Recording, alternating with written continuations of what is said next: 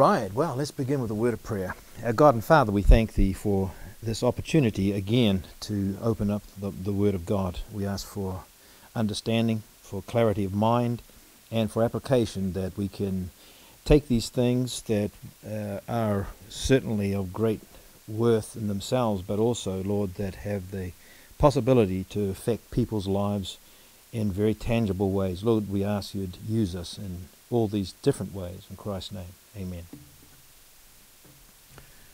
All right. Well, we got all that technology. That's cool. Well, we've had some very unusual weather here in Oklahoma. But that's normal, right? That's, that's what we expect to be. So that's cool. That's uh, interesting. It's interesting because every, every day I say to uh, Seppi, okay, now what should I be wearing today? Do I need the coat? No coat? Um, you know, one day we went along uh, to university and people were just stripped down to t-shirts and shorts and jandals, and the next day, whoa, you know, Eskimo City kind of thing. You know, it was something else. Okay, um, so we've been looking at this topic mid Acts or Acts 28, and it has again been a tremendous thing to open up because uh, I've learned a lot from this and continuing to learn a lot, which will be of great help and I think assistance. Um, we have been looking at uh, some of these scriptures, like this one here, Ephesians 4:12, for the perfecting of the saints, for the work of the ministry, for the edifying of the body of Christ. And I have always taken that to mean the body of Christ is us. He's referring to us. In other words, this is what I took this to mean for the work of the ministry, that is, the ministry that we are a part of, for the edifying of us, the body of Christ. That's how I've taken that. I believe it's completely wrong. And uh, if you look down here, uh, I'm comparing it with the body of 1 Corinthians 12. For by one Spirit we all baptize into one body, whether we be Jews or Gentiles, whether we be bond or free and have been all made to drink into one spirit. And the reason why I showed this is because the context is so clear. It's a complete mapping between Israel's spiritual things and type and the fulfillment right here. You can't help but see it. The, the business of the baptism, the business of the drinking into one spirit, all these things are there. Now, if you look for the expression body of Christ or the body of Christ, if you look for that phrase, you'll see it coming up in different places. Um, for example, Romans 7 4, Wherefore, my brethren, you also are become dead to the law by the body of Christ. Yeah, but that's going back to the sacrifice of Christ, his actual body. It's not referring to a group of people known as the body of Christ, it's referring to the work of Christ, his, the sacrifice of himself. Uh, if you look at 1 Corinthians 10 16, it says here, the cup of blessing which we bless, is it not the communion of the blood, the blood of Christ? The bread which we break, is it not the communion of the body of Christ? Well, very clear again, this is talking about a, a remembrance of Jesus Christ's sacrificial body, his body. But when you come here, and this is the only other two places where you get the phrase the body of Christ, now we see a, a distinction and only two places. Right here, now ye are the body of Christ and members in particular. Members in particular. Members by part. We know the context of this thing here. The particular membership is based upon a manifestation of the Spirit of God in terms of gifts. And this body, which is metaphorically given as being a head and all the rest, of the body is all working together because of the manifestation of these gifts. It's put together like that. Now, when we come to Ephesians 4 and verse 12, let's look at that. Let's go there again. I want to point this out and make it clear because there's, there's some things that we didn't go to last time which we need to, and I'm going to go back into the Old Testament scriptures to look at this. So in Ephesians chapter 4, we have the practical section, right? So we, we know this about Ephesians. We've got this clear many times that Ephesians is certainly quite clearly broken up into these two parts where 1 through 3 gives you the doctrinal um, teaching to do with the, the nation of Israel versus the, um, versus the Gentiles and the formation of this tremendous uh, body together. I'll write it in English. Body together. Okay, you'll find that very strongly doctrinal. And then chapters 4 through 6, this relates to deportment, taking doctrine and putting it into practice. So over here you'd have the practical uh, section where you take things that are very much doctrinal and put them into practice. So it's interesting that the place where we're going to, uh, Ephesians 4, is in the practical section, which relates to ministry. What, what are you going to do with this doctrine? How do you put it in place in your life? And so in verse 8, wherefore he saith, when he ascended up on high, he led captivity captive and gave gifts unto men. Well, these gifts we, we've read about, uh, and he gave some apostles and some prophets and some evangelists and some pastors and teachers. Have you heard of a church called the Apostolic Church?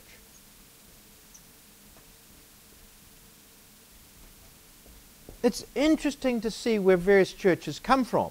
One of the big teachings of the Apostolic Church is, comes directly from here because it says here, it says, uh, and he gave some apostles. The first in the list is apostles. So, where are they? where are they? Well, come across the apostolic church and we'll tell you. We've got apostles. We've got apostles. See? You don't have apostles. You got a problem. But we are biblical. We got apostles. Right? So, I want to answer this. I think I've, ha- I've had an answer to this for some time. And the answer is well, this is a foundational thing. There, there, there were apostles and they were foundational and they had a, a, function. And of course, once they died, well, they, they died, and there was no replacements to those. I think I've got a far better answer to this now. Uh, it says this um, in verse uh, 11 and he gave some apostles and some prophets and some evangelists and some pastors and teachers. All of those there, they were gifts. Those particular individuals were given as gifts. Okay? And it goes on. It says this in verse uh, 12. For, okay, so why did he give these? For a particular reason. This is the reason. For the perfecting, for the perfecting of the saints. Now, the perfecting of the saints, up here, okay, this katartismon, the perfecting of the saints, tone hagion, so here, this is to do with the mending of the nets, the adjustment, the fixing up. There is therefore, in the context, some problem that needed to be fixed up. All right? And these gifts were given specifically to fix this problem. Right? That's the context. And as we go down here, it says, for the perfecting of the saints, for the work of the ministry, for the edifying of the body of Christ. Well, there's only one body of Christ that we've come across in terms of a phrase where it's made in a way where it's put together with signs and wonders and all sorts of gifts, right? And so here is a ministry which was going on and was given over here. We've got Ephesians here, so I better keep it on this side of the dividing line. So here, Acts 28, all right, so after Acts 28, this revelation is given, and these there are gifts here, these men given to adjust the body of Christ. You mean the body of Christ? Yeah, that's right. I mean, what, do we have evidence, for example, that there were sign gifts still going on after the Acts 28? Yeah, we do, but in a very interesting context because we get evidence of the fact that they are going out Uh, we've seen some of these passages, but I want to look at a few more. So, what I'm trying to show you is that this happened. Uh, we talked about this p- before, so I won't go on. But this is the picture that uh, I, I'm trying to establish here as being a biblical idea. That is, that the body of Christ, as mentioned in 1 Corinthians 12, and which is instantiated in various localities, it comes together in various localities in Rome, Corinth, etc. You'll see it there, and gifts are manifested. Well, as time goes by, of course, then Acts 28 occurs. And so what happens is the revelation of the mystery is given. Now, when was it given? The mystery, when was it given? Was it given sometime before Acts 28? Now, there's a problem in believing that that is the case because then what you've got is you've got Paul gathering the Jews together and, and making an offer to them, which he knows, if he already knew the revelation of the mystery, is not actually legit. you know what I'm saying? It doesn't make sense to me that he knew back here the revelation of the mystery. So, therefore, at some stage after Acts 28, the revelation of the mysteries given to Paul. Where and when, we don't know. We know that when the book of Ephesians turns up, yes, it's definitely there. So, what we have then is we have the body of Christ here, which to some degree is manifesting, these are believers, right? These are believers in Christ, and they're manifesting various gifts and so on. And these gifts are on the wane. They are going away slightly and slowly. And then finally, what happens is that they're gone.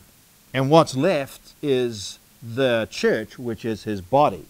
Now, let's have a look at a, a few more passages just to show you this. The first thing I want to show you is in 2 Timothy 4:20. It says, "Erastus abode at Corinth, but Trophimus have I left at Miletum sick. That's an interesting passage because it indicates by this stage that Paul did not have the gift of healing. He didn't have it. Otherwise, there's no reason why he would not have used it. He left them um, at, at uh, Miletum sick. And there's other passages. I want you to look at this passage with me. This, uh, this is in 2 Timothy and chapter 1 and verse 6. And I'm going to put these ideas together and see whether you agree with me, right? 2 Timothy 1, verse 6. Wherefore I put thee in remembrance that thou stir up the gift of God which is in thee. Now, if it's just stopped there, I would say there's a, there's a few interpretations you could come up with for that. But you notice what it says, which is in thee by the putting on of my hands. Now, that is an impartation of a, a spiritual gift because of the hands, you see. So to me, it's, it's, there is the evidence that gifts at least could be going as long as there was a stirring up. They were not there automatically. Timothy could stir it up. Otherwise, there would be no sense in Paul telling Timothy, stir it up, if he knew there's no way it could be stirred up. Right? It could be stirred up and he's commanded to stir it up. All right. So, therefore, gifts would appear to be a present to some degree after Acts 28. Here's another one I want to show you. Um, this one um, is in 1 Timothy um, and 5 23. Drink no longer water, but use a little wine for thy stomach's sake and thine often infirmities. No longer gifts apparent of healing. Evidence that the gift of healing, at least, is not available, right? Not available.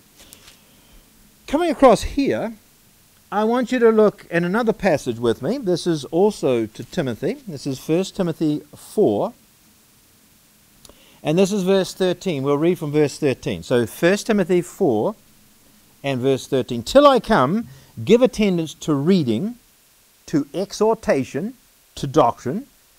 Neglect not the gift that is in thee. Okay, well, who knows, right? But it goes on. Which was given thee by prophecy, with the laying on of the hands of the presbytery, the presbyteroi, the eldership, who could impart a spiritual gift. And he's saying here, neglect not that gift. Well, therefore, it would imply to me that it's available to some degree. It was available. And that's after Acts 28, right? Now, you might say, but you're now preaching stuff that's destroying everything that we've been, we've been holding to. Well, I'm just trying to be biblical, right? Because I think I've got a, a fairly clear answer to some of these things, which, which are completely biblical. Now, we looked at that passage, all right? Neglect. Notice the word neglect, which implies that it could be neglected. Now, if you look at the promises given to Israel concerning the Spirit, look at this. This is, this is a typical passage. Ezekiel 36 27. I will put my spirit within you and cause you to walk in my statutes, and you shall keep my judgments and do them. I will cause them to happen.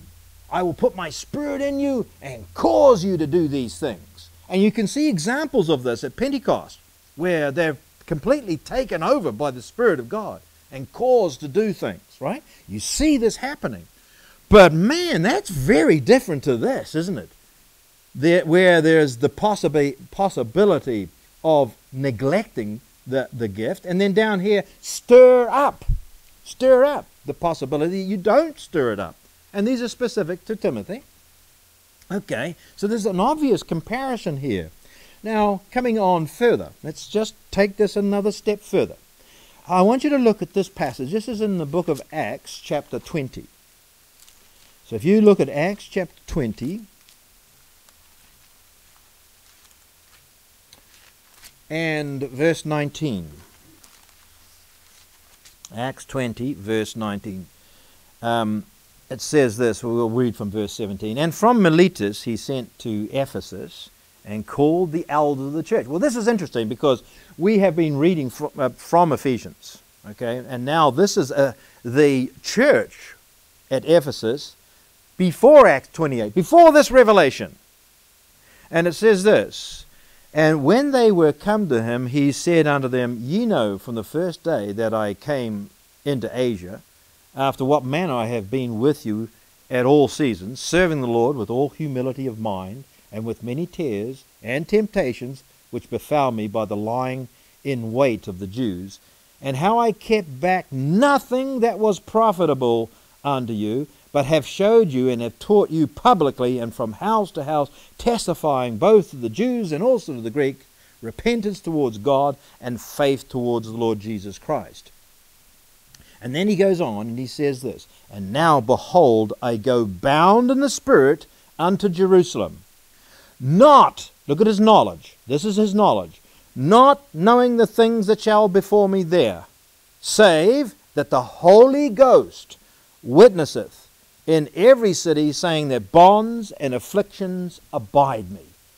This is, I believe, a scriptural statement of Paul's knowledge about the future ministry coming. That is, he only knew that bonds and afflictions would abide him.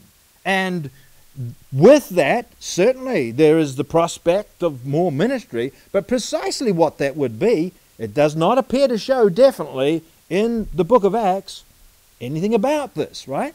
It's not part of his knowledge. That is the revelation of the mystery in the book of Acts.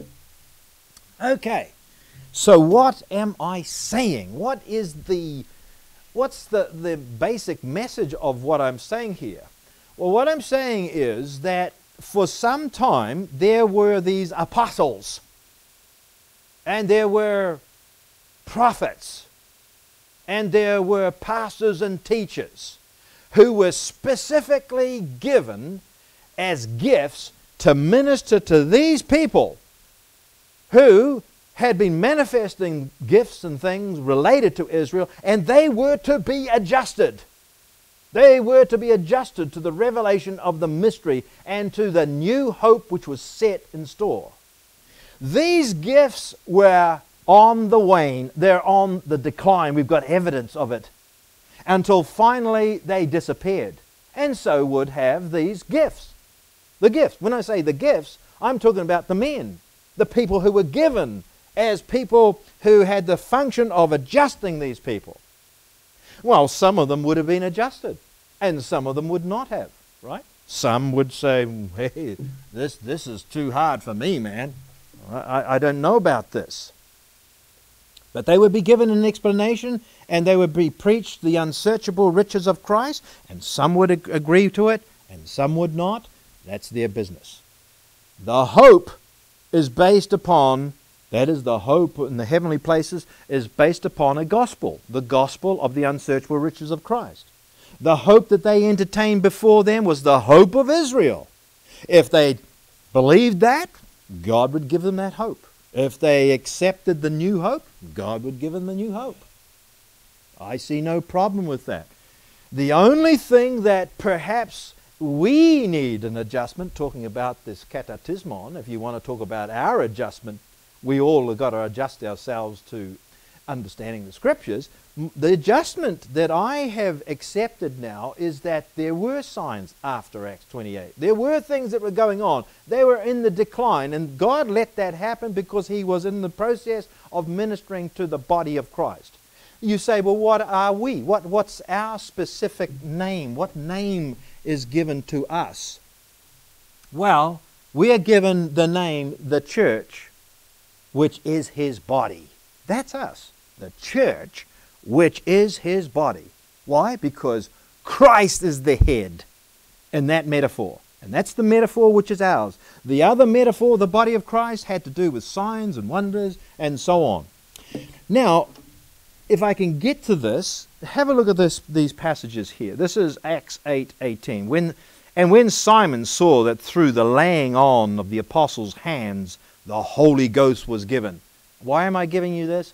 I want to show you what's associated with the laying on of hands, which is clearly the context that in which Timothy is being asked to stir up this gift, either through the impartation of a gift through the presbyteroi, the, pres- the presbytery, or through Paul himself. Stir it up.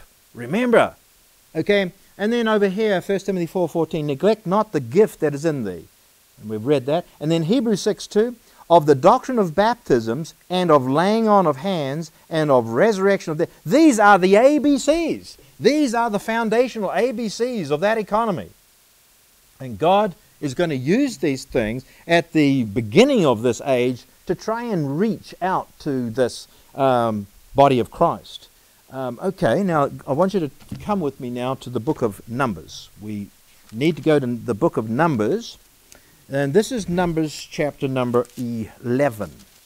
And I want you to see things to do with the gifts um, and see how much they are associated with Israel. Numbers 11 and verse number 24. And Moses uh, went out and told the people the words of the Lord and gathered, gathered the 70 men of the elders of the people and sent, set them round about the tabernacle. And the Lord came down in a cloud and spake unto him and took of the Spirit that was upon him. Now let's get this again. Let's make sure we are, we are reading this right. It says in verse 25, and the Lord came down in a cloud. Now the Lord, notice it's in capitals. This is Jehovah. This is Yahweh, the one, the one who is the covenant God with Israel. Came down in a cloud and spake unto him and took of the Spirit that was upon him, that's Moses, and gave it unto the 70 elders. Wow, this is wild stuff here, isn't it? He took of the Spirit that was on Moses and then gave it to the 70. And it came to pass that when the Spirit rested upon them, look what happened. They prophesied and did not cease. Isn't it interesting? Cease. Remember that word comes up in the context in 1 Corinthians. But there remained two of the men in the camp. The name of the one was Eldad, and the name of the other Medad, and the Spirit rested upon them. And they were of them that were written, but went not out into the tabernacle, and they prophesied in the camp. So, what was supposed to happen is they were supposed to come out of the camp and go to the tabernacle, and there they would get this spiritual manifestation. But these two gentlemen, they didn't do that. But they were of the group that were named that should have. But what happened was the Spirit rested on them. And it says, and they prophesied in the camp, within the, the major body of the Israelites. And there ran a young man and told Moses and said, Eldad and, Mel and me, Dad, do prophesy in the camp. What's going on? My wife always laughs at me because when I talk about other people, I put some sort of voice on. and Joshua, the son of Nun, the servant of Moses, one of the, the, his young men, answered and said, My Lord Moses, forbid them. Forbid them from doing this. Now, what Moses says next is very instructive. And Moses said unto him, Envious thou for my sake? Would God that all the Lord's people were prophets, and the Lord would put his spirit upon them. And Moses gat him into the camp, he and the elders of Israel. It's a very interesting response. It's not, in other words, it's indicating that what, what's wanted and would be desirable is that the whole camp would manifest this, right? Manifest this thing, which is the work of the Spirit of God. Now, look at another thing here. Um, so much in here. I want you to look at Exodus uh, chapter 28. These gifts, right? These gifts have a context. Though the people, the members of the body of Christ, which you remember is not us, the body of Christ manifested these gifts in the same context as the hope of Israel. Now look at this. Exodus 28 and verse uh, verse 2. And thou shalt make holy garments for Aaron thy brother for glory and for beauty. Two things. Glory and beauty. Not just beautiful things, but also glory. And thou shalt speak unto all that are wise hearted whom I have filled with the Spirit of wisdom, that they may make Aaron's garments to consecrate him, that he may minister unto me in the priest's office. Gifts of the Spirit are there, right from the very beginning with Israel. And the picture of the baptism into the body of Christ talks about this manifestation of the Spirit, which was clearly Israel. So, in other words, when people start the church of which we are a part in the, the book of Acts, then what they're doing is they're taking Israel's spiritual things to themselves. Right? That's what they're doing. And furthermore, they're showing evidence that they need some ministry. They need to be adjusted. Right? They need to be adjusted. Well, guess what? While I am not literally a part of the group that are the gifts who were there for this reason, nonetheless, we are still a part of some kind of adjustment. We have got a ministry of a kind of adjustment where we're trying to show people the truth and the revelation of the mystery and try and get them out of this kind of confusion. I think really the, the message about the body of Christ is another one of those big moves. It is for me. It's, it's clarified a lot of things. Very, very clear. And I would like to bring this up in, uh, in, in even more clarity as we look at further passages in the Old Testament, especially in Numbers, where it shows you that if you take Israel's spiritual things, then you've got to accept the hope of Israel. And that hope is definitely not the same hope that's offered in the prison epistles, which relates to the heavenly places. Well, let us pray. Our God and Father, we thank Thee this morning for the revelation of the mystery given to Paul the prisoner. We pray that we'd be ever ready to expose and show the truth, clarify things, and adjust as we are given this clarity. We pray for this fellowship, the ministry online, Lord, that people from around the world will come to the revelation of the mystery and run on to perfection.